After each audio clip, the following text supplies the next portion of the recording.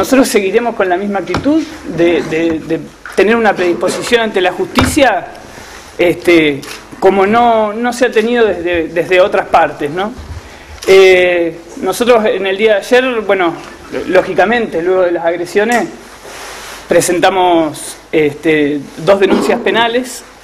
Eh, y esto también, ¿no? Porque uno por ahí escucha o ve o lee que ayer fue un escándalo o que, este, hubieron incidentes. que hubieron incidentes. Y en realidad, quizá alguno lo pueda catalogar como escándalo, pero lo que hubo fueron agresiones y violencia, golpes este, y amedrentamiento y amenazas de muerte.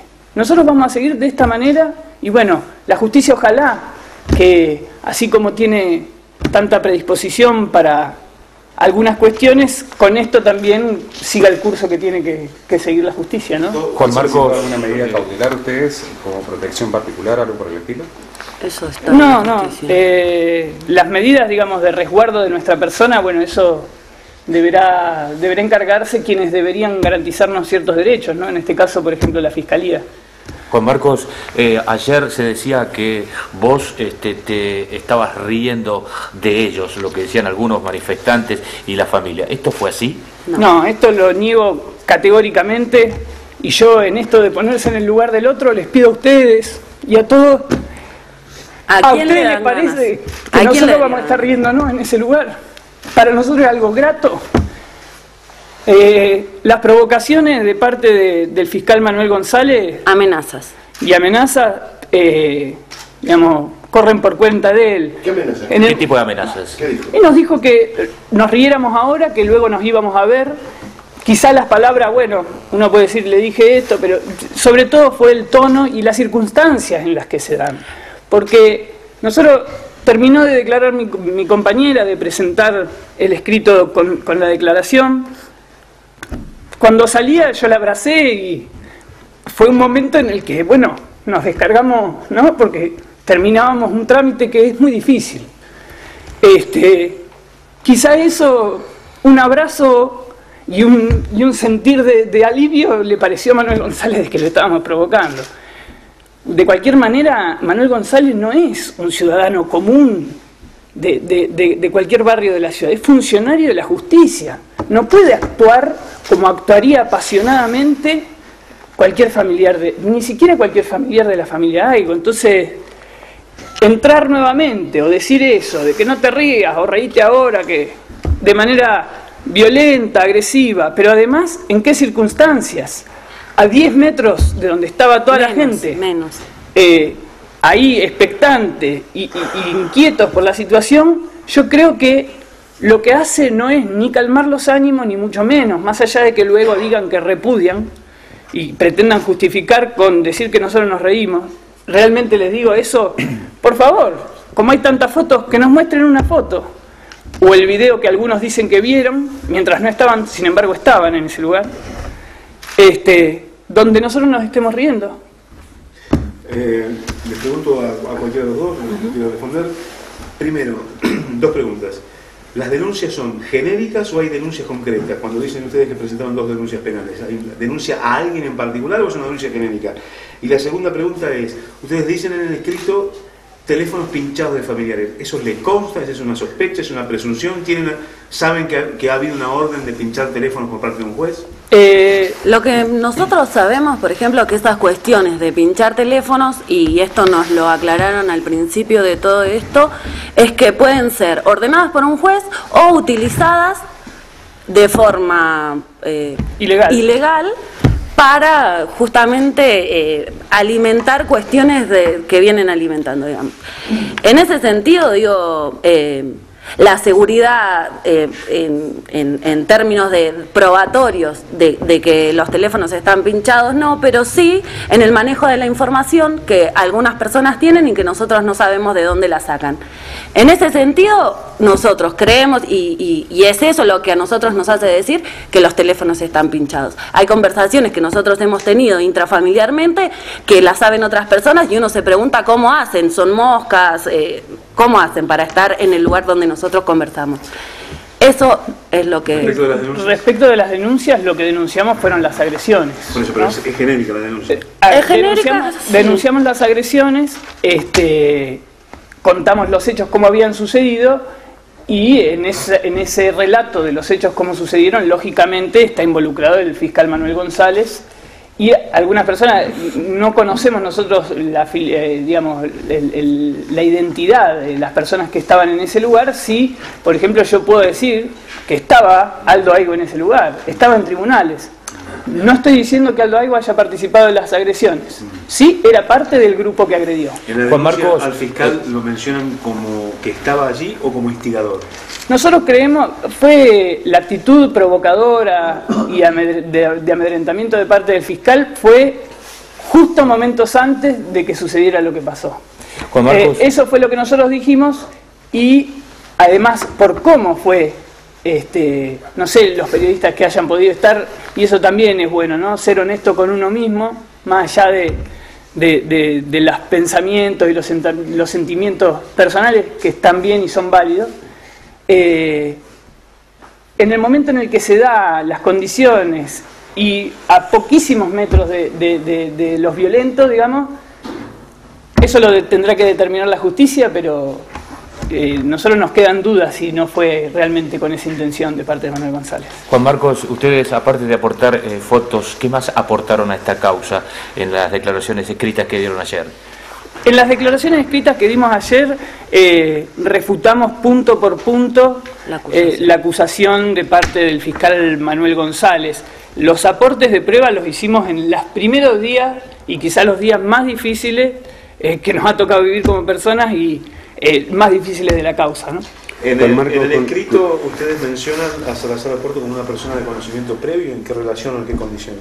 Eh, nosotros, vuelvo a decir, en el escrito refutamos los- lo- las imputaciones de parte de Manuel González. Lo, lo hacemos utilizando ciertos párrafos de nuestras propias declaraciones testimoniales. O sea, que es nosotros en base ayer- a lo que él hace la acusación, ¿no es cierto? O sea, él a partir de nuestras declaraciones testimoniales toma de ahí para hacer la acusación y nosotros lo que hicimos ayer en, en legítima defensa, es decir, nosotros en todo esto que el fiscal apunta no mentimos. En Claro, nada mentimos. esas En nada. imputaciones. Él el- no lo sustenta, discúlpame, Puma. Eh, él las acusaciones las sustenta solamente en que cree de que es inverosímil. Él cree que nuestro, nuestra, nuestra verdad, la verdad, no es, no es como, como nosotros decimos. Eh, para la imputación no se sustenta ninguna prueba, porque lógico, Manuel González, y esto, eh, digamos, lo digo y es, y es, este, es notorio, no va a decir que este, nadie en Machine Ahogado pudo decirle ni a los investigadores ni a la justicia el nombre y apellido de Salazar Oporto. Eso nos decían a nosotros que era la prueba por la cual nosotros encubríamos. Nadie en Machine Ahogado pudo decir de qué apellido, de qué apellido era. Nosotros desde el primer momento dijimos que conocíamos a esta persona de dos o tres veces, que la hemos visto, compartió el cumpleaños de, una de nuestras hijas y punto. Nosotros en ningún momento negamos conocer de esa manera a Salazar Oporto. A la otra persona, que, que- bueno, luego terminó siendo Alexis Cortés Torres, eh, la- yo la, la- la conocí ese, ese mismo día que... ¿A Salazar Oporto lo conocías como Salazar Oporto o con otro nombre? No, no, con otro nombre, Juan Carlos. Juan Carlos, el chino.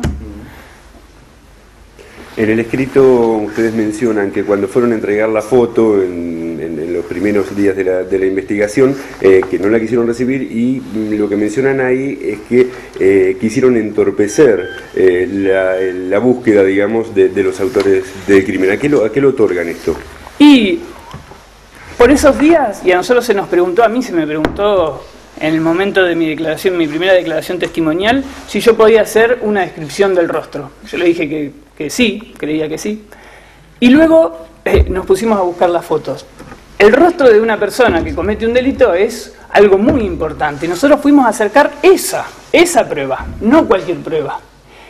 Y llamativamente, ustedes, no sé, saquemos cada uno sus propias conclusiones, pero ¿cuál es la intención eh, de no recibirnos esa prueba tan importante? No sé, realmente cuál es la intención. No sé si encubrir a los asesinos, capaz, no sé.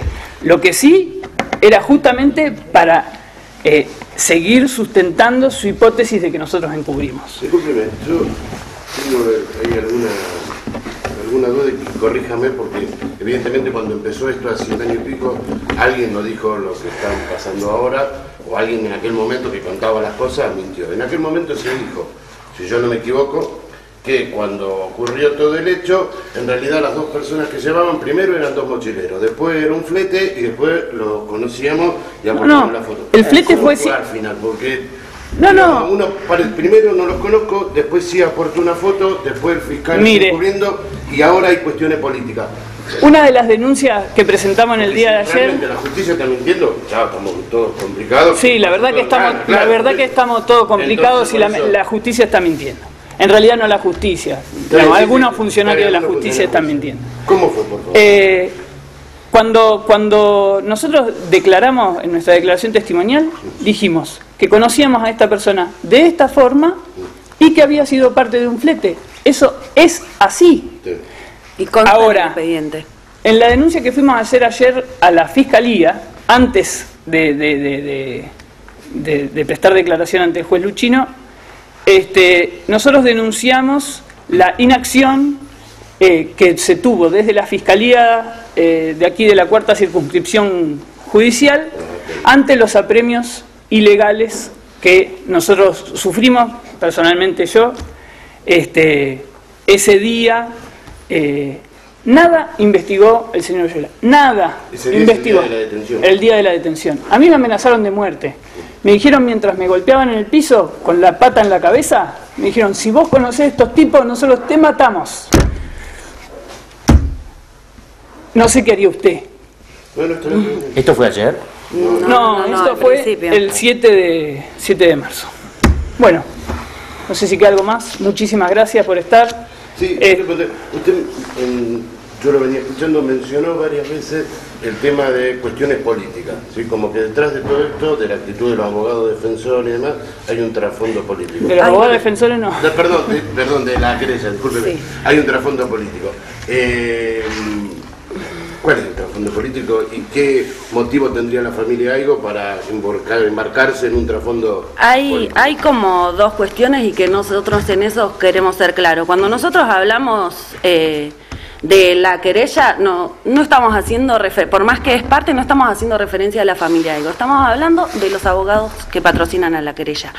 Desde un principio, y a mí esto me hace acordar a un dicho del miente, miente que algo quedará, desde un principio mintieron absolutamente en no sé, infinidad. Cualquiera puede revisar los medios, los archivos de los medios, en donde sistemáticamente fueron mintiendo para armar lo que pasó ayer. En todo ese armado también tienen que ver con cuestiones en, en donde hacen referencia a, y convengamos que esto, y es así, en todos los titulares, Juan Marco Fernández no es Juan Marco Fernández solamente, sino que es el hijo del intendente, y en todo momento se hizo referencia a Y eso. ella, la nuera. Hacia mi persona, yo no soy Analia Godoy, sino que soy la nuera del intendente. Entonces, en eso, cualquier lectura que pueda hacer cualquier persona es un trasfondo político, hay una intención clara en eso. La cuestión es que cada uno, personas críticas como podemos ser todos, puedan diferir de todo eso, de todos esos archivos, y a mí me gustaría que por favor, si, si, si lo pueden hacer, lo hagan, en donde sistemáticamente mienten, generando un clima de violencia que se vio reflejado ayer sin ninguna duda, y un clima en, en- en determinados momentos electorales, en determinados momentos eh, de, de algidez política que nosotros, a nosotros, hasta a nosotros nos sorprende. De decir, ¿cómo hacen para poder relacionar un- este caso con, con- con- con sus maniobras políticas? y eso está claro en no todos nos los medios. esto no son presunciones nuestras, digamos.